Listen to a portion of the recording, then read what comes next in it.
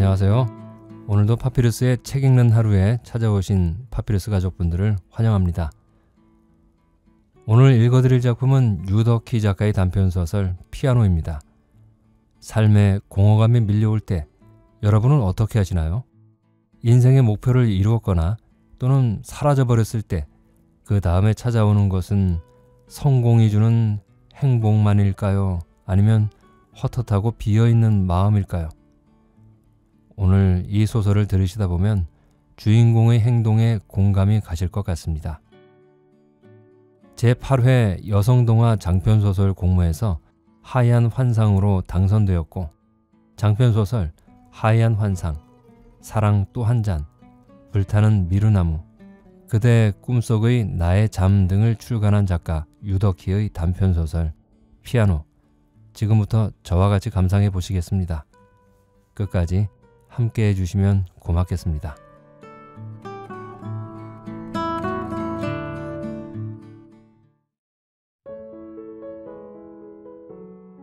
피아노 유덕희 손을 내려다본다. 비누 거품이 이는 구정물 속에 담긴 손은 보이지 않는다. 손을 들어 올려 들여다보기가 무서워진다. 어린 시절에 엄마는 여자는 손이 예뻐야 해. 손이 여자의 신분을 말해주거든. 남자들이 여자의 손을 눈여겨본단다. 하고 말하곤 했다. 그 말이 늘 가슴을 짓눌렀었다. 손을 혹사하는 직업은 절대 갖지 않으리라고 마음속으로 맹세했다. 예상외로 남편이 제대로 된 월급 봉투를 갖고 오진 못했을 때에도 나는 그 맹세를 지켰다. 김치를 못 담그고 요리를 잘 못하는 것, 청소나 집안일에 능숙하지 못한 것도 은연중 손을 보호하려는 의지가 작용했었다. 난 이런 허접스러운 일은 잘 못해. 그런 일을 하려고 귀한 손을 사용할 수는 없어. 하는. 아이고, 아직도 안 끝내고 주물럭거리고 있는 거야? 양씨 아줌마가 꽥 소리 지른다. 그녀는 이 식당의 주방장이다. 주방장이라고 하니까 무슨 자격증이나 있는 듯 싶지만 그냥 그렇게 부르는 것에 불과하다. 평생 식당 주방에서 떠돌다가 못하는 요리가 없게 되자 정식 주방장까지 채용할 여력이 안 되는 고만고만한 식당에서 주방장 노릇을 하게 된 것뿐이다. 자격증이 없달 뿐 솜씨는 인류 요리사 뺨친다며 언제나 기고만장인 양씨 아줌마는 열정이 끌어넘치는 몸에 열이 많은 사람이었다. 잘 되든 못 되든 무슨 일이든 저지르고 본다. 그것은 삶에 대한 투지라고나 할까. 행복에 대한 결사적인 갈망의 표현이라고 할까. 보이는 대로 말하고 생각하는 대로 내뱉는 거침없는 성격이라 꼼지락거리고 있는 내 모습이 답답해서 도저히 못 견디는 것이다. 다 했어요. 빈 그릇이 더 안 나오나 하고 기다리고 있는 거예요. 나는 애매한 웃음으로 얼버무리며 손을 빼내고 구정물을 개수대에 버린다. 콰르르 콸콸. 요란한 소리를 내며 구정물이 내려간다. 수돗물을 틀어서 손을 씻는다. 씻고 씻고 또 씻는다. 아이고 좀 이따 또 설거지를 할 텐데 뭐 하려고 저렇게 지극정성으로 씻는담? 양씨 아줌마는 또 한번 나를 향해 투덜거린다. 그러거나 말거나 주인 여자는 못 들은 척하고 알바 처녀 정양은 아까부터 고개를 쳐봤고 문자질에 정신이 없다. 저녁 8시가 다 되어 가지만 여름 저녁이라 바깥은 아직도 환하다. 식당과 골목에 하나 둘 가로등이 켜지기 시작하는데 지나다니는 사람들은 별로 없다. 오늘따라 진짜 손님이 없네. 저녁 식사가 대충 끝나가는 시각이라 이 골목이 아닌 저쪽 술집 골목으로 사람들의 발길이 몰리는 때문이다. 저녁에는 그랬다. 술을 마시는 회사원들은 저녁을 먹지 않고 바로 술집으로 직행한다. 또한 집에서 저녁을 먹은 동네 사람들도 한잔 하려고 들르는 곳은 식당이 아니라 술집인 것이다. 이 식당은 술을 팔지 않는다. 주인 남자는 오랜 직장 생활 끝에 정년을 맞았고 국리 끝에 작은 식당을 개업한 사람이었다. 주인 여자도 늘 함께 식당에 나와 있지만 두 사람 모두 장사라거나 식당은 생전 처음이어서 양씨 아줌마가 주인보다 더 전횡을 휘두르는 형편이었다. 뭐든 양씨 아줌마의 의견이 존중되었다. 하지만 한산한 거리, 텅빈 홀을 바라보는 양씨 아줌마의 얼굴에 불안이 감돈다. 왜 아니랴? 식당만 차리면 떼돈을 벌듯이 큰 소리를 쳤었다. 자신의 솜씨로 손님들을 문전성시를 이루게 할 수 있다고 호언장담하여 주방장 자리를 꿰찼다. 그러니 손님이 없다면 그것은 순전히 양씨 아줌마 자신의 책임이라는 생각이 드는 모양이었다. 화장실 좀 홀이 비어 있을 때 화장실에 다녀와야 한다. 설거지가 쌓여 있는데 소변이 마렵다는 이유 하나로 화장실에 다녀왔다가 양씨 아줌마에게 된통 혼난 적이 있다. 그 후로 요령껏 손님이 없는 시간을 택해 화장실에 다녀오는 법을 깨닫게 되었다. 카운터에는 주인 여자가 바깥을 내다보고 있다. 슬그머니 나가버린 주인 남자는 아마 근처의 부동산에 가 있을 것이다. 나는 주인 여자에게도 화장실에 간다는 표시를 한다. 그러고 보니 어느새 정향조차도 보이지 않는다. 좀 전까지도 구석진 테이블에서 문자질을 하는 것 같더니 하긴 이제 한 시간만 지나면 식당은 문을 닫는 시간이다. 오늘 하루가 무사히 끝나간다. 이 식당은 밤 9시에 문을 닫는다. 하지만 그것으로 다 끝난 게 아니다. 정작 그때부터가 제일 힘들다. 날마다 주방 뒷설거지가 만만치 않은 것이다. 하루 종일 사용했던 온갖 냄비며 지진판이며 밥솥 따위를 다 닦아놓는 것은 기본이고 싱크대와 개수대를 솔로 말끔히 닦아서 정리하고 행주들을 삶아서 널어놓고 주방의 타일 바닥은 세제를 풀어서 물청소로 씻어내야 한다. 게다가 하루 종일 쌓인 음식물 찌꺼기나 쓰레기 등등을 처리하는 일도 여간 힘든 게 아니다.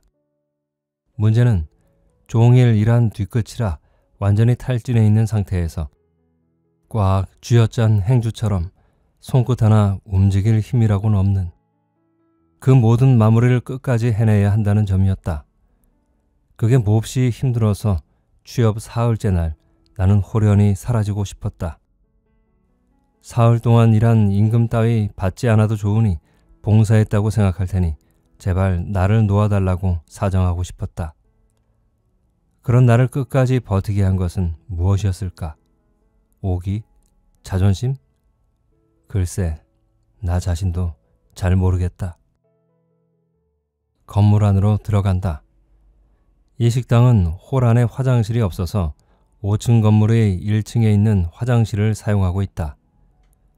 건물 안으로 들어가면 휴대폰 매장이 나오는데 언제나 형광등 불빛이 눈부시게 환하다. 늘 젊디 젊은 남녀들로 북적이며 싱싱하고 활기찬 분위기가 좋았다. 매장을 가로질러 지나가는 나를 어디서 봤는지 불쑥 정향이 나타나 붙들고는 아줌마 화장실 가요? 하곤 쌩끗 웃는다. 정향은 방금 매장 끝에 있는 화장실에서 화장을 고치고 나온 모양이다. 속눈썹이 무거운 박스라도 거뜬히 올려놓을 수 있을 만큼 길고 빳빳하다. 쇠로 만든 쇠꼬챙이를 꽂아놓은 듯 살벌하기까지 해서 나는 매번 질린다. 예, 그렇게 하지 않아도 너는 충분히 예뻐. 아니, 안 하는 게 천 번, 만 번 더 예쁘단다. 나는 몇 번이나 충고했었다. 그럴 때마다 정양은 아, 상관 마세요. 들은 척 만척이었다. 보얗고 여릿여릿한 피부를 가진 정양은 자신이 밝힌 나이보다 한참 아래일 것이다. 어쩌면 아직도 10대일지도 모른다. 그런 정양을 보는 일이 나는 늘 조마조마했다. 하지만 정양은 나 같은 쑥맥이 아니란다. 허벅지가 드러나는 짧은 치마를 입고 퇴근 후엔 밤 문화에 푹 젖어 있는 여간 내기가 아니라는 것도 양씨 아줌마한테 들었다.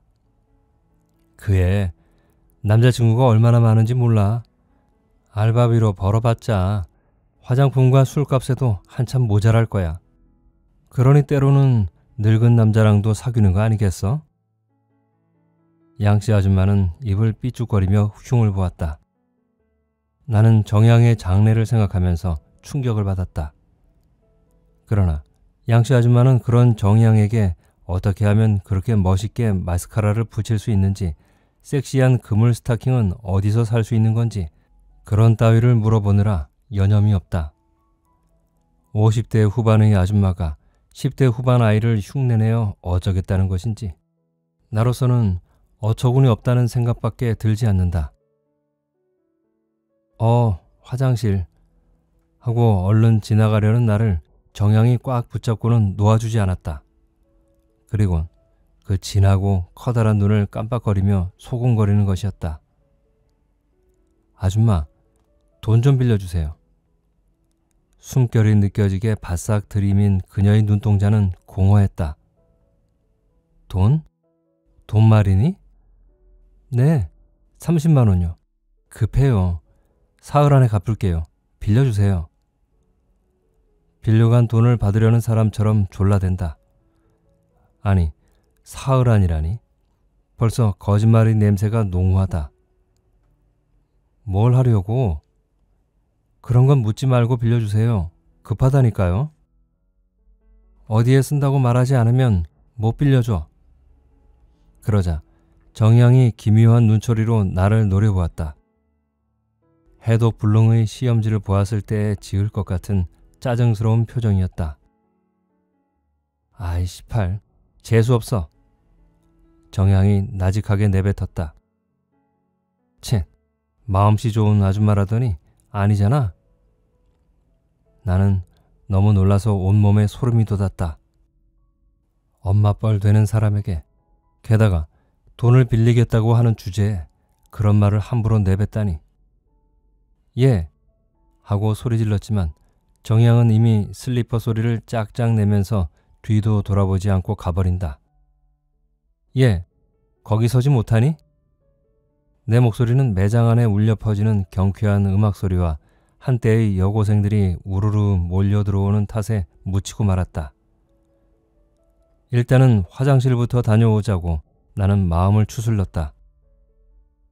여자 화장실에는 여자애들이 득식을 거렸다. 이 건물은 2층과 3층이 여성복 매장이고 4층엔 PC방이 있다. 하루 종일 수도 없이 드나든 여자들 탓인지 휴지통은 넘쳐 있고 학교가 끝나고 들어온 여고생들까지 가세하여 가히 북새통이었다. 여고생들은 거울에 바싹 얼굴을 들이대고 화장을 하느라 분주하기 짝이 없다. 이 애들은 뻔뻔스럽게도 교복을 입은 채 여기에 들어온다. 분을 바르고 눈썹을 그리고 마스카라를 짙게 칠한다. 교복 블라우스가 몸에 찰싹 들러붙고 스커트는 짧은 아이들이다. 그뿐이면 다행이다. 아이의 사복으로 갈아입고 거리로 나서는 것이다. 이런 세상이다. 이런 세상인 것을 모르고서 나는 한참 동안 집안에만 파묻혀서 살아왔는지도 모른다. 어떤 년이 또 담배꽁초를 변기에다 버려놨어? 이러니까 변기가 막히지. 못해 먹겠어. 못해 먹겠다니까. 청소부 임씨 아줌마의 짜증난 목소리가 옆칸에서 들려온다. 이 건물 청소부 임 씨 아줌마는 양 씨 아줌마의 단짝 친구이다. 두 사람이 퇴근 후의 골목길을 좁다며 누비고 다닌다는 소문이었다. 말이 많은 임 씨 아줌마와 마주치기 싫어서 나는 살며시 문을 밀고 나간다. 다행히 임 씨 아줌마는 넘치는 쓰레기통을 비우느라 화장실 안에 들어가 있어서 나를 못 보았다. 나는 도망치듯 빠져나간다. 어차피 화장실 거울 앞은 여고생들이 점령하고 있어서 손 씻기를 포기해야 했다. 휴대폰 매장을 가로질러 가는 것이 빠른 코스이지만 나는 건물 밖으로 나간다. 잠깐 동안이라도 바깥 바람을 쐬고 싶었기 때문이다. 그것이 실수였나 보다. 안녕하세요. 하는 남자 목소리가 바로 옆에서 들려왔다. 아, 예, 안녕하세요. 남자 쪽을 보는 둥 마는 둥 대꾸한다. 남자는 잔뜩 긴장한 표정으로 나를 바라본다. 그 남자는 환경미화원이다. 그를 본 것은 이 식당에 취직한 바로 그날 저녁이었으니 알게 된 지 거의 석 달이 되어 간다. 그런데 알게 되다니 과연 그런 표현을 써도 괜찮을지 모르겠다. 식당에 첫 출근을 한 그날 밤 일이 끝나고 나자 환영 파티를 해야 한다면서 양씨 아줌마가 식당의 식구들을 끌고 갔다. 주인 부부는 자신이 식당에서 해도 되지 않겠느냐고 조금 언짢아 했지만 양씨 아줌마가 단합대회 겸 새 식구 환영회는 당연 술도 마시며 떠들썩하게 해야 하는 법이라며 기어이 근처의 돼지갈비집으로 사람들을 데려갔다. 그곳에서 다섯 사람이 소주 세 병을 비우기가 바쁘게 정향이 어느 틈엔가 사라졌고 주인 부부도 적당한 시간에 일어났다. 나도 주인 부부를 따라 일어설 참이었다. 그런데 양씨 아줌마는 친구를 소개하겠다면서 나를 끌다시피 포장마차로 데려가는 것이었다. 취업 첫날이었고 아무것도 모르는 나는 그저 끌려가는 수밖에 없었다. 그곳에서 만난 사람이 임씨 아줌마와 환경 미화원 남자와 정육점 주인 아저씨였다. 그날 그 사람들은 노래방을 거쳐서 나이트클럽까지 갔다고 했지만 난 노래방에서 중간에 빠져나와 계산을 하고는 집으로 돌아와 버렸다. 도저히 감당할 수 있는 자리가 아니었던 것이다. 다음날 얼마나 재미있었는지 몰라 하는 양씨 아줌마의 침 튀기는 자랑을 나는 귓등으로 들었다.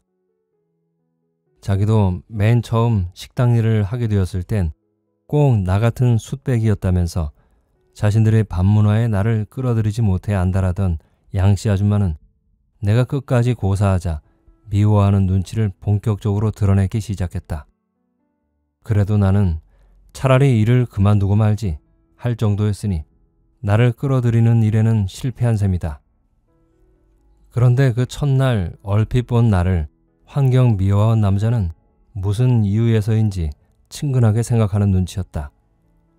어느 날 음식물 쓰레기를 들고 나와 분리수거함에 넣으려고 절절매고 있을 때 어디서 나타난 홍반장처럼 그 남자가 불쑥 나타나서 쓰레기를 대신 버려주는 것이었다. 음식물 쓰레기 버리기가 나에겐 또 하나의 난제라고 할 수 있을 만큼 벅찼다. 그러니 그런 그가 무척 고마울 수밖에 없었다. 그 뒤로도 그 남자는 기회가 있을 때마다 도움을 주었는데 나는 인사로 우산 하나를 선물하였다. 정말 고마웠다고. 언젠가 봤더니 우산 없이 일하시더라고. 남자는 거리 청소를 하면서 우산을 쓰지는 않아요. 귀찮아서요. 하면서도 깊이 감동하는 눈빛이었다. 얼마 후에 양씨 아줌마는 나와 환경 미화원 남자 사이를 둘이 사귀어? 하고 단도직입적으로 물어왔다. 나는 어이가 없어서 대꾸조차 하지 않았다. 하지만 두 달, 석 달이 지나도록 우리 두 사람이 따로 만나는 장면을 단 한 차례도 목격하지 못하였는지 양씨 아줌마는 의심을 놓아버렸다. 아니, 이제쯤은 나라는 인간 자체의 무미건조함에 아예 관심조차 꺼버렸을 것이다. 나는 그저 설거지를 하는 여자에 불과했고 그것도 지독히 설거지를 못하는 여자였으며 이런 작은 식당에서나 버티지 웬만한 식당이라면 애저녁에 쫓겨났을 거라고 단정 짓는 듯 했다. 남자가 안녕하세요 하고 물었고 그것에 대해 나도 예 안녕하세요 했으니 끝난 게 아닌가. 나는 그렇게 생각하는데 환경 미화원 남자는 내 뒤를 쭈삣거리며 따라오는 것이었다. 이러다간 식당 앞에서 양씨 아줌마와 딱 마주치게 생겼다.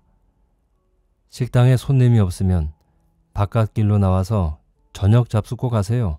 알밥이 맛있어요. 끝내줍니다. 양도 푸짐하게 줄게요.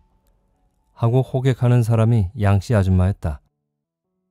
유원지도 아닌 이런 거리에서 호객 행위를 하는 유일한 사람이 또한 그녀였다. 내가 맨 처음 양씨 아줌마에게 걸려든 것도 이런 호객행위에 의해서였으니 저한테 무슨 할 말이라도 걸음을 멈추고 따져 묻지 않을 수 없었다. 이제 꼴딱 져버린 해 때문인지 거리에는 저녁 어둠이 어스름이 번지고 있었다. 남자의 얼굴에도 표정이 뭉개지고 있었다. 아, 그게 내일 저를 잠깐 만나주지 않겠습니까? 왜 그러시는데요? 그냥 좀 의논하고 싶어서요. 무슨 의논인데요? 그런 거라면 양씨 아주머니가 저보다 훨씬 잘하실 텐데. 아닙니다. 아주머니라면 좋겠어요. 꼭 아주머니한테 의논하고 싶습니다. 도대체 무슨 의논을 하신다는 거예요? 지금 하시면 안 될까요? 그게 좀 긴 한 이야기라서 내일 만나서 말씀드리지요. 내가 어리둥절해 있는 사이에 환경 미화원 남자는 약속이 된 것으로 안다면서 태연이 먼저 가버렸다. 황당했다. 나는 이 석 달간 주인 부부 말고 따로 이야기를 나눠본 사람이 없다. 그런 나에게 무슨 의논을 하겠다는 것인가? 나는 이것에 관해 양씨 아줌마한테 털어놓고 의논해 봐야겠다고 생각했다. 물론 그 여자에게 한 말은 금방 소문이 돌고 말겠지만 그래봤자 이 거리에서 내가 아는 사람은 아무도 없다. 하지만 그날 저녁에 나는 양씨 아줌마와 이야기할 기회를 놓쳐버리고 말았다. 그것은 정양 때문이다. 식당이 폐점 시간인 9시쯤이 되면 정양은 식탁 의자를 테이블 위에 얹어놓고는 비지를 시작한다. 그런 다음에 마포로 된 밀대로 밀었다. 물론 탁자도 미리 행주지를 하지만 그 일이 그나마 가장 수월했다. 정양이 청소하고 있을 때 그녀의 휴대폰이 울렸다. 그녀는 휴대폰을 들고 밖으로 나갔다. 그리곤 누군가와 다투는 기색이었다. 설거지하는 유리창으로 격렬하게 말씨름 중인 정양의 모습이 보였다. 양씨 아줌마의 큰딸은 집을 나간 지가 두 해가 되는데 그 발단이 딸이 갖고 싶은 가방을 사주지 않자 알바를 하겠다며 집을 나가더니 그 길로 영영 돌아오지 않는다는 것이었다. 딸이 남자를 만나 동거를 하는 것 같다고 양씨 아줌마는 말했다. 양씨 아줌마는 남편이 사업을 하다 실패하는 바람에 위장 이혼을 하였는데 그러고도 남편이 정신을 못 차려서 위장 이혼이 아예 정식 이혼이 되어버렸다. 문제는 한창 나이의 자식들을 모두 떠안은 것이다. 딸 하나에 아들 둘. 딸은 집을 나갔고 큰아들은 그나마 고시원에서 먹고 자며 공부에 매달리고 지금은 오로지 둘째 아들과 살고 있다. 중2인 둘째 아이도 매일 늦는 엄마를 기다리며 컴퓨터 오락에 빠져 있다. 아무리 착실히 살아도 인생이 암담하기만 했던 양씨 아줌마는 자살해버릴까 심각해 고려한 적도 있었지만 어느 날부터인가 문득 행복하게 살기로 마음을 고쳐먹고는 인생을 한껏 즐기기로 했다. 그러자 그 후부터 사는 게 훨씬 좋아졌다는 것이다. 양씨 아줌마의 친구들 역시 그녀와 비슷한 사고방식을 가진 사람들이었다. 그에 비하면 아직 정량은 희망이 남아있는지도 모른다. 나는 설거지를 하며 혼란스러운 생각들을 굴리고 있었다. 네가 유흥비로 쓸 게 아니라면 빌려주마 하고 말해볼까?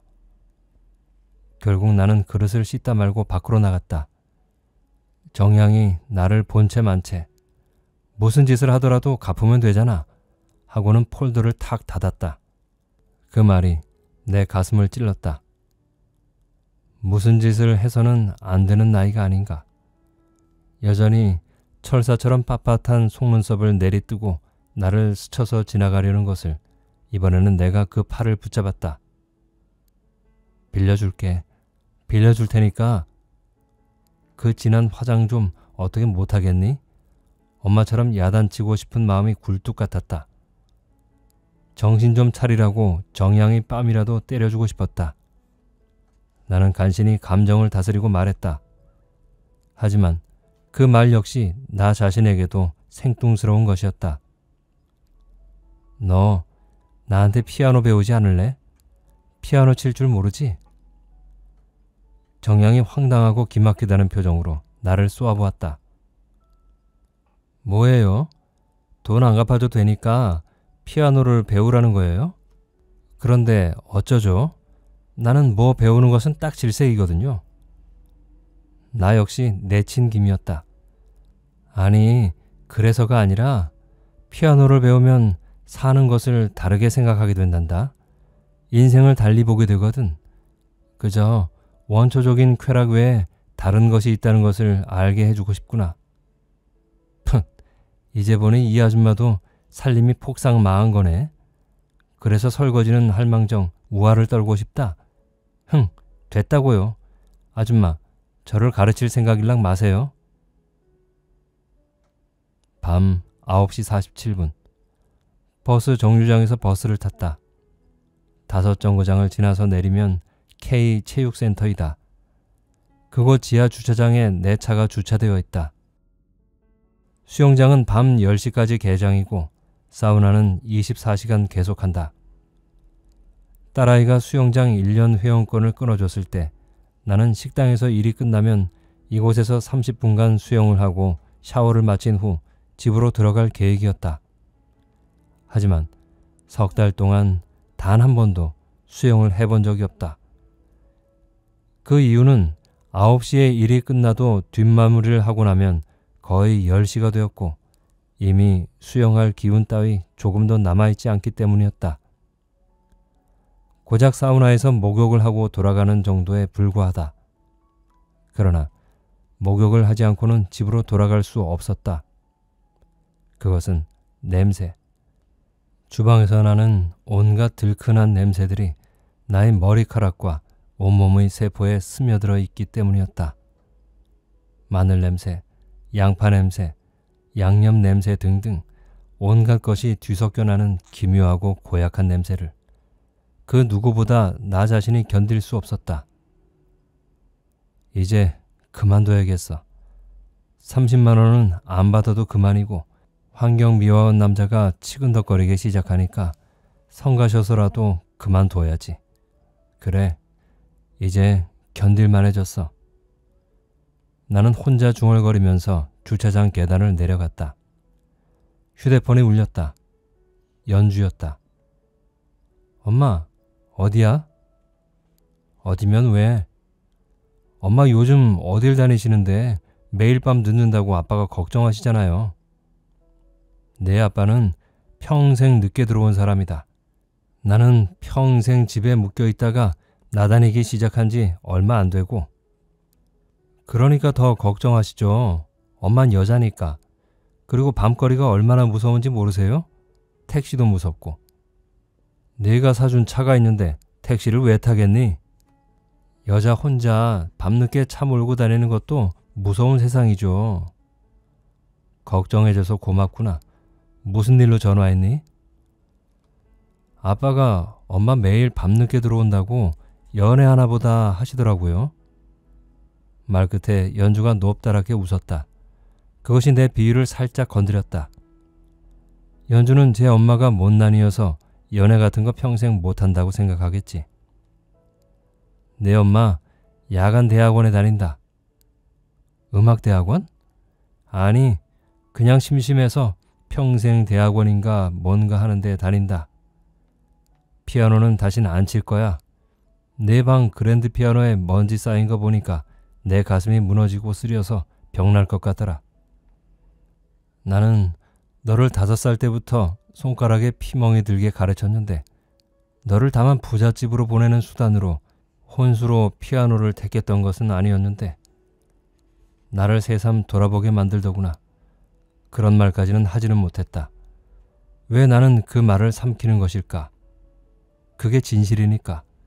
진실임을 알기에 인정하기가 더 괴로우니까. 지금 이 순간도 숨이 막혀온다. 엄마, 저도 다 알아요. 하지만 지금은 아이들이 어리잖아요. 애들 크고 나면 피아노 다시 치게 되겠죠. 애들이 언제 크니? 벌써 4년이나 되었다. 내 손가락은 굳어져 버렸어. 나는 그 말도 못하고 만다. 그리고 또 뭐 어때서요? 내가 이렇게 행복한데. 그러면 된 거 아니에요? 딸이 은연중에 그런 마음을 내비쳤다. 그랬다. 평생 나를 감쪽같이 속여왔던 연주였다. 연주가 피아노를 싫어하는 줄은 그 애가 결혼한 뒤 한 달에 한 번도 피아노를 치지 않는다는 것을 알게 된 후에 갑자기 깨닫게 되었다. 나는 머리를 둔기로 강타당한 것처럼 놀랐다.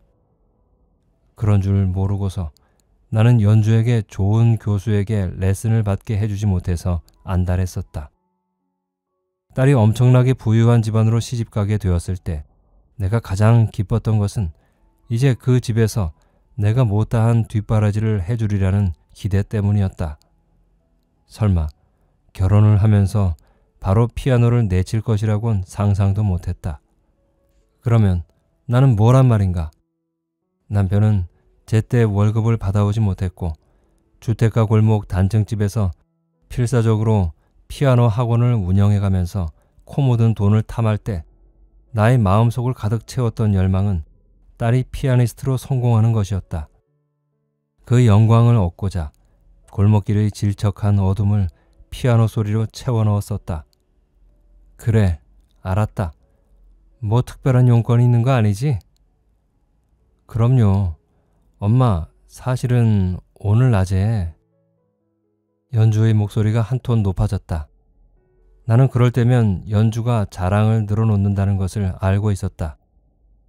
서두를 늘 그런 식으로 시작한다는 것도. 예, 엄마 지금 운전할 거다. 아, 그럼 어서 집으로 들어가세요. 차는 잘 나가요? 아무렴 새 차인데. 나는 폴더를 닫았다. 이따위 차. 나도 연주 밑으로 비싼 레슨비 쳐놓지 않았더라면 얼마든지 살 수 있었다. 그러니 생색낼 일은 아니다. 오늘은 사우나로 들어가는 것조차 포기하고 차에 시동을 건다. 주차장을 빠져나가 체육센터 앞 도로로 차가 미끄러져 나간다. 나는 심호흡을 했다. 연주가 늘어놓는 이야기열 레퍼토리를 잘 알고 있었던 까닭이다. 성묘를 가는데 자갈길을 페라가모 구두를 신고 가고 있더라는 것. 구두가 명품뿐이어서 무심코 신고 나갔는데 그렇게 되고 말았단다. 친구 아이 돌날 루이비통 가방에 샤넬 원피스를 입고 나갔다. 그건 역시 못 사는 친구 기죽이려고 그런 게 아니라 그냥 입은 옷이 그랬다는 것이다. 신랑은 연주 생일에 뮤지컬 특등석에 힐튼 호텔을 예약해두고 갤러리아에서 마음껏 쇼핑하라며 카드를 주더라고도 했다. 영화에서나 볼 수 있는 신데렐라 신화의 주인공이 자신이 될 줄은 꿈에도 몰랐다며 연주는 수시로 감격하며 울먹였다. 연주, 무남동녀 나의 딸. 남편은 들어가는 회사마다 기울어졌다.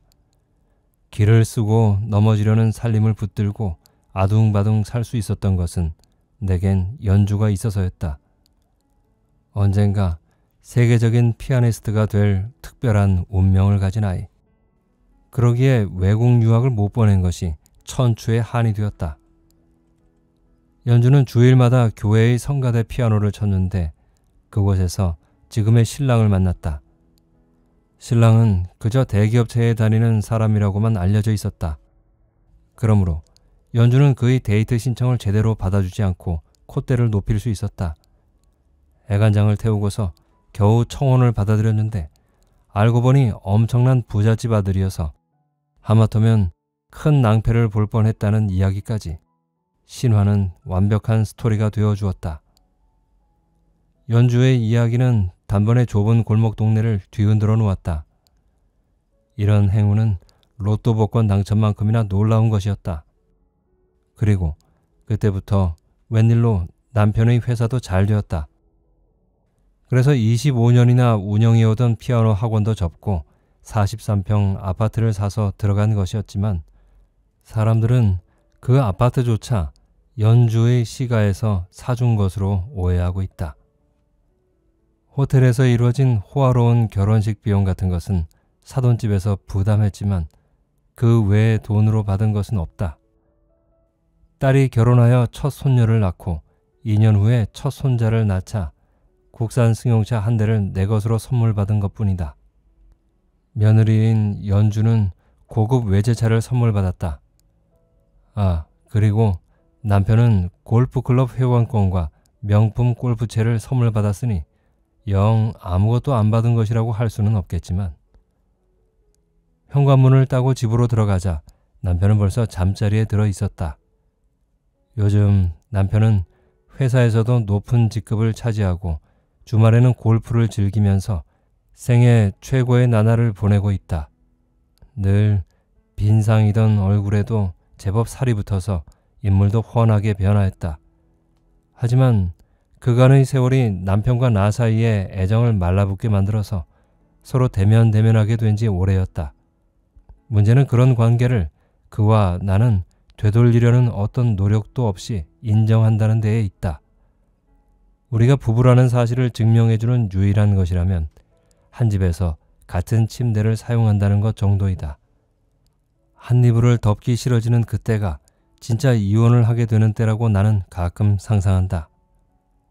내가 돌아와 부스럭거리는 소리에 잠이 깼는지 남편이 일어나 앉았다. 당신 왔어? 좀 전에요. 식탁에 있는 거 못 봤어? 뭐 말이에요? 낮에 사위가 그 바쁜 사위가 찾아왔더라고. 우리 두 사람 오스트리아 음악 여행 다녀오라고 여행 티켓을 가져왔어. 벌써 예매를 했더라고. 음악 여행이요? 참 버리장머리가 없네. 누구 맘대로요? 물어보지도 않고 제멋대로 예매를 해요? 뭘 그렇게 흥분을 해? 싫으면 안 가면 그만이지. 그래도 하룻밤 생각은 해봐. 그래도 싫다면 내가 해약하라고 말할게. 남편은 두말 없이 물러서며 다시 침대에 눕는다. 내 기세가 무섭다는 듯이 일부러 한쪽 구석으로 몸을 말고 돌아 누웠다. 하지만 나는 남편이 마음속으로 쾌재를 부르고 있다고 느낀다. 자신도 굳이 함께 가고 싶지는 않을 것이다. 다만 남편으로서의 의무와 구실만을 하고 있을 뿐이다. 돌아누운 남편 옆에 조심스레 들어가서 멀찍이 눕는다. 내 온몸에서 가시가 돋아나지만 남편 역시 일찌감치 그 가시를 피하는 방법을 알고 있었다. 일정한 간격을 유지하는 것, 결코 침범하려고 하지 않는 것. 연주와 사위는 결혼 이후 우리 집 가구와 가전제품을 바꿔주는 일에 열중하더니 작년부터는 여행 공세를 펴기 시작했다. 하지만 여행이라면 국내와 국외를 이미 섭렵했다. 지난 4년간 나는 안 가본 곳이 없다. 골목 피아노 학원을 할 때 갖고 있던 피아노 세대를 아파트 문간방에 쳐놓고 문을 잠가버린 이후로 나는 이곳저곳을 방황하고 다녔다. 문화센터도 가보고 비즈 공예와 사군자도 쳐보고 발리 댄스도 배워보고 그 즈음 인터넷 여행 카페에 회원으로 가입해서 국내와 국외를 두루 돌아다녔다. 그랬음에도 나의 공허감은 쉽사리 가셔지지 않았다. 그날 식당이 있던 그 거리엔 무슨 일로 가게 되었을까? 사군자를 함께 배우던 회원 아줌마가 옷을 살 게 있다면서 그 건물로 나를 끌고 갔었다. 그리고는 자기 옷은 물론이고 기어이 내 옷도 사입게 만들었다. 그 옷이 영 마음에 들지 않아서 그 다음날 나 혼자 그곳으로 갔었다. 3층 옷 매장에서 나는 바지를 치마로 바꾸었다. 아마 13,000원은 더 얹어 주었을 것이다. 그리고 건물 밖으로 나가서 혼자 천천히 걸었다. 그때 그곳에 호객하는 양씨 아줌마가 있었다. 아줌마, 비빔밥 먹고 가요. 둘이 먹다가 하나도 죽어도 몰라. 양도 많이 줄게. 커피는 공짜야. 처음 본 사람의 팔을 붙들고 어찌나 간절하게 매달리는지 나는 끌려 들어가고 말았다. 손님이 없는 그 식당 유리창에 주방 아줌마 구함, 설거지만 하면 됨, 이라는 광고 쪽지가 붙어 있었다. 비빔밥이 왔을 때 나는 저 광고 쪽지처럼 정말 설거지만 하면 되느냐고 물었다. 요리사 욕심이 많은 양씨 아줌마는 다른 사람이 나물 한 가지를 하는 것도 못마땅해 하는 성격이어서 오로지 설거지 할 사람이면 된다고 했다. 그러면 내가 한번 해보겠다고 한 것이 그날로 취업이 되었다. 날마다 안 해보던 중노동에 파김치가 되어서 쓰러져 잠든 것. 고운 하얀 손을 지저분한 구정물에 담그고 왠지 통쾌한 심정으로 변하던 것. 어찌된 판인지 4년 동안이나 여기저기를 기웃거려도 도무지 메워지지 않던 가슴속의 공동이 식당의 설거지를 하는 동안 씻은 듯 사라져갔다. 내 깊은 절망과 우울이 마치 한때의 엄살이었다는 듯이. 예기치 않은 일이 벌어져서 나는 일주일간 병원에 입원을 해야 했다. 아파트 진입로에서 벌어진 어이없는 교통사고였다. 아파트 출구로 진입하고 있던 내 차를 옆에서 갑자기 들이닥친 차가 그대로 받아버렸다. 운전을 배운 지 얼마 안 된 젊은이가 휴대전화를 받다가 벌어진 실수였다.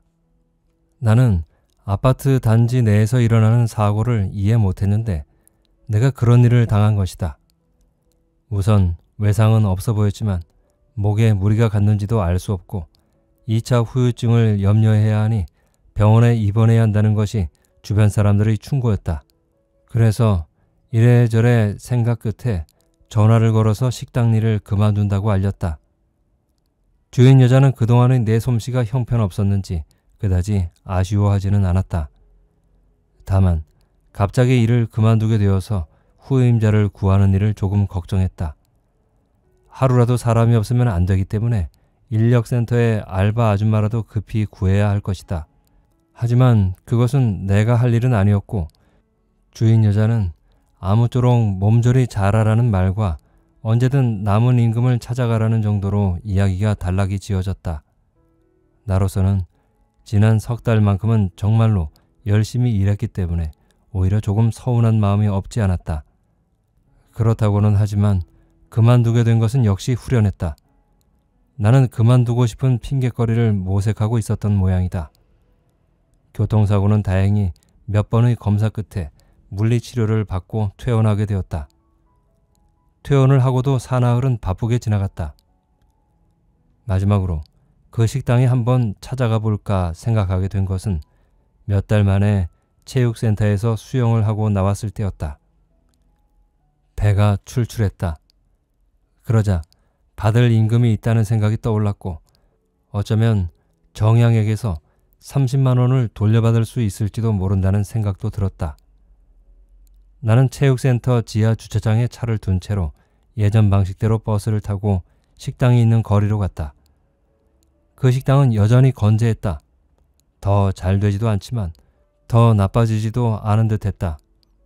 내가 불쑥 나타나자 모두들 소리를 지르며 반가워해 주었다. 그래봤자 주인 부부와 양씨 아줌마뿐이다.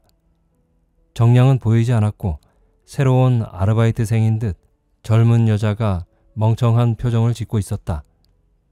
그래, 건강은 괜찮고 놀아서 그런가 신수가 훤해졌네. 하도 환대를 해주니까 나는 기분이 좋아졌다. 일은 서툴렀지만 성실했던 대가를 보는 모양이다. 주인 여자는 선선히 임금 37만 원을 계산해 주었다. 단지 정향은 내가 나오지 않은 그날부터 무단 결근을 하더니 사라져 버렸다고 했다.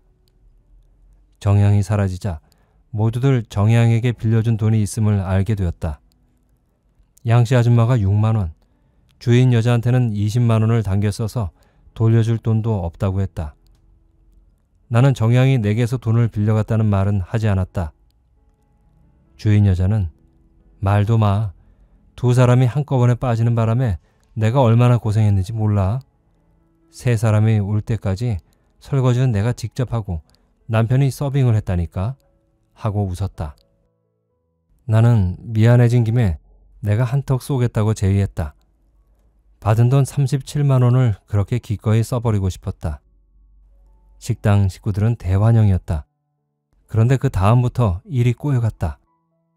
언제나 그렇듯 물주는 나였지만 모든 일이 양씨 아줌마의 전횡대로 굴러갔다. 1차에서 주인 부부와 새 알바 아가씨가 사라졌다.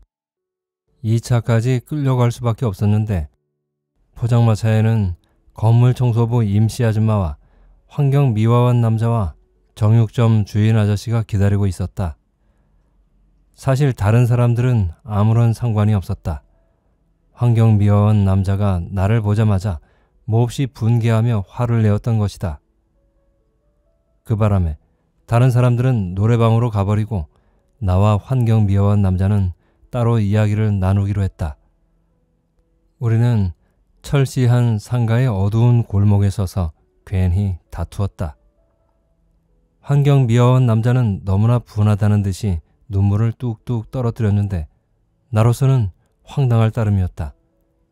그가 자신의 마음을 희롱했다고 마구 몰아세웠다.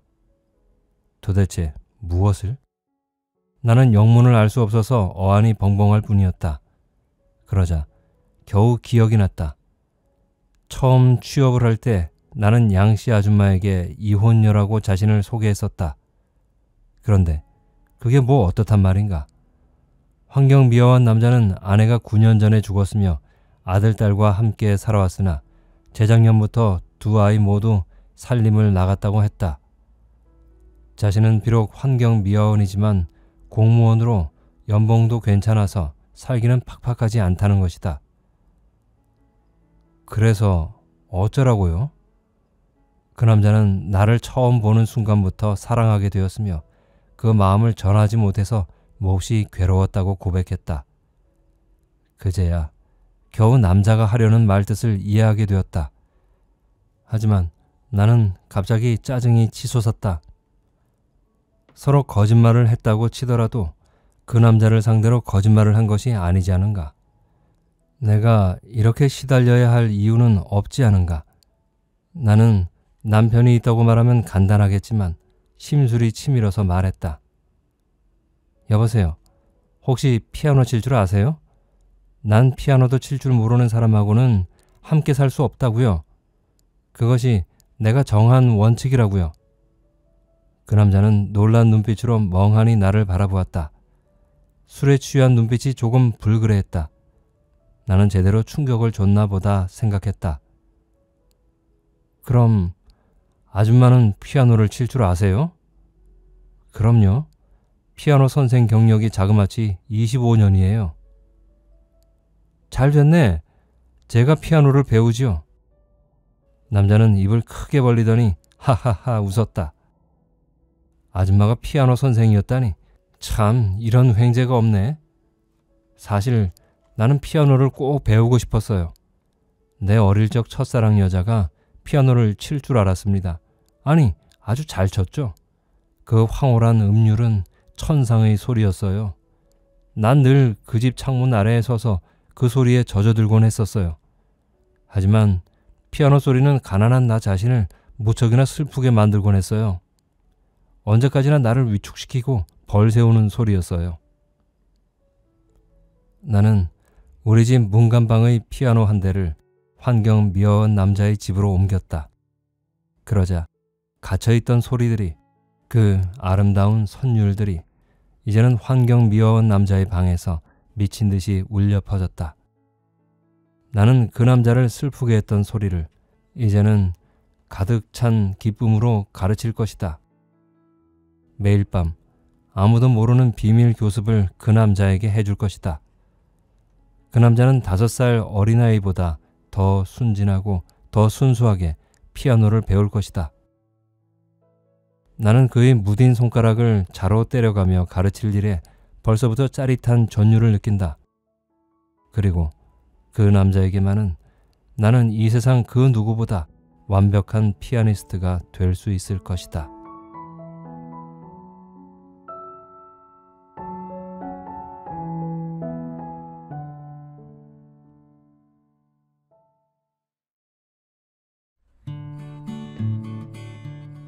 재미있게 감상하셨나요? 주인공의 이야기를 듣다 보니까 이분은 삶이 지금 공허하구나 라는 생각을 하게 됩니다. 그럼 그녀의 삶이 공허해진 이유는 뭘까요? 사람이 살면서 어떤 목표를 가지고 살게 되잖아요.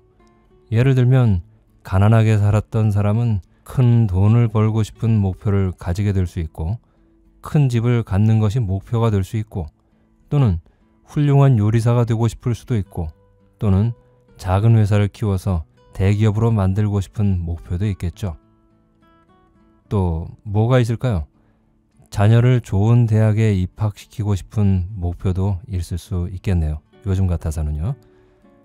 그래서 열심히 앞만 보면서 주위의 온갖 유혹들을 뿌리치면서 목표를 달성하게 됩니다. 그리고 목표를 달성하게 되면 그 다음엔 뭐가 있을까 생각해 보셨나요? 목표를 이루었으니 그 이후엔 행복하기만 할까요?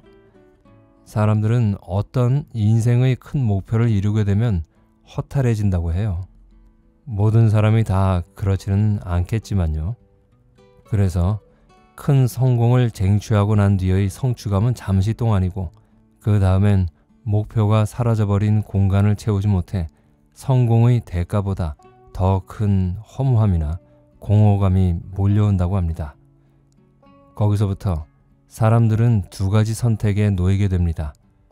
목표 달성 이후 또 다른 더 큰 목표를 찾아 나서거나 아니면 허탈감에 무력감에 빠져서 허우적거리거나 한다고 하네요.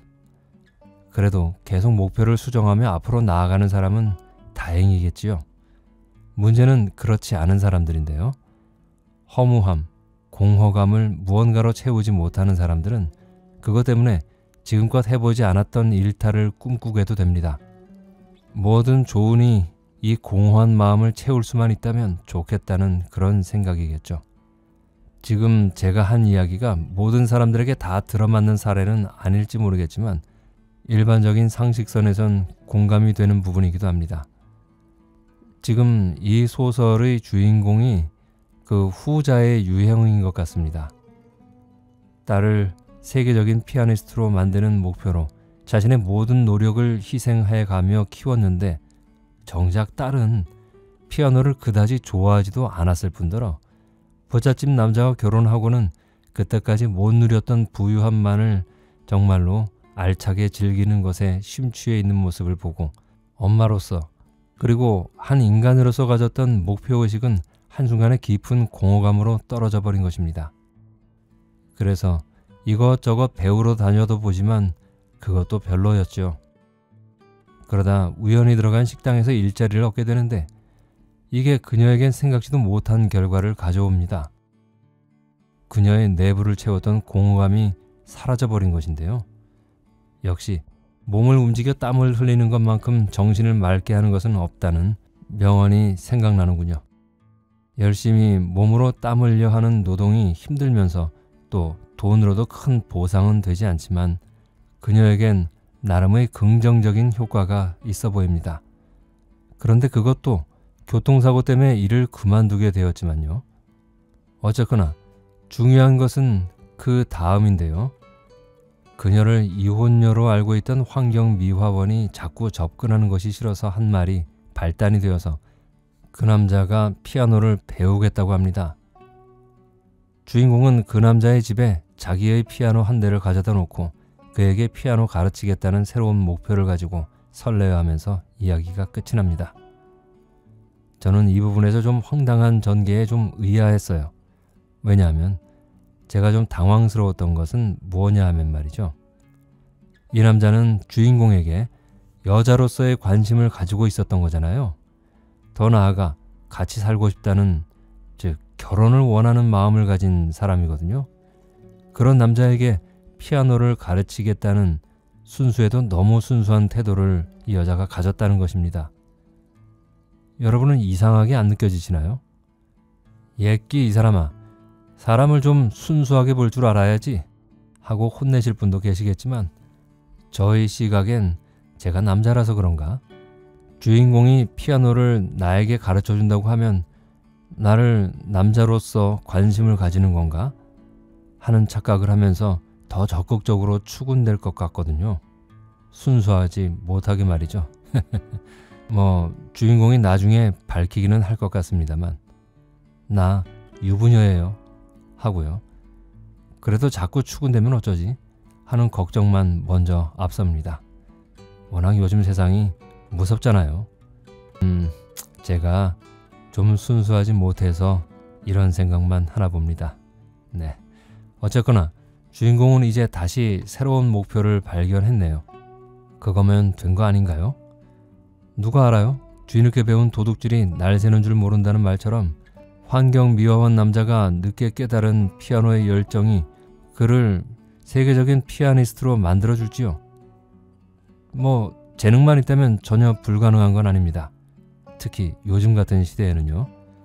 유튜브라는 좋은 매체가 있으니 그런 꿈도 꿔볼만 하지 않을까요? 제가 너무 멀리 나간 건가요?